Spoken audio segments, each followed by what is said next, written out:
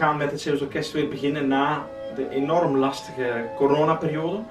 Met een fantastisch programma. Poulenc Sinfonietta en Beethoven Vioolconcert met als soliste Lisa Jacobs.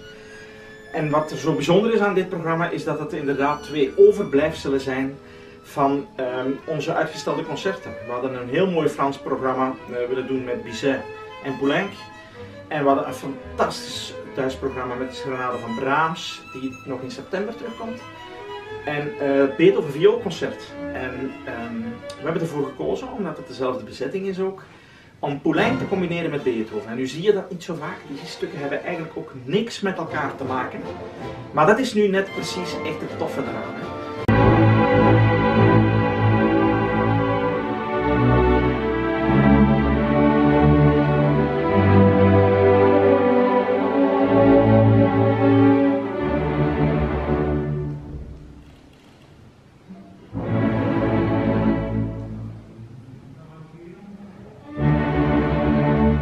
Um, um, totaal twee verschillende stukken.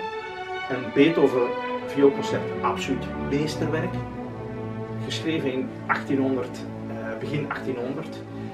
En um, een, een, stuk van drie kwartier, met, waarin je de eerste minuut al hoort dat het echt een meesterwerk is. Met het begint met paukensolo, houtblazers. En het publiek wordt al opgeschrokken door een klap in de dertigste seconde of zoiets. En dan weet je al, ja, dat is, dat is klasse. En Poulenc hetzelfde. Poulenc 100 jaar later heeft hij geleefd. Uh, is vlak na de Tweede Wereldoorlog geschreven. Poulenc was openlijk homofiel en um, ook enorm vrolijk persoon. Hij was autodidact als, um, als componist en zette zich eigenlijk af tegen uh, de gevestigde waarden. Hij, hij ging in een clubje met zes jonge Fra Franse componisten, Le Groupe de Six.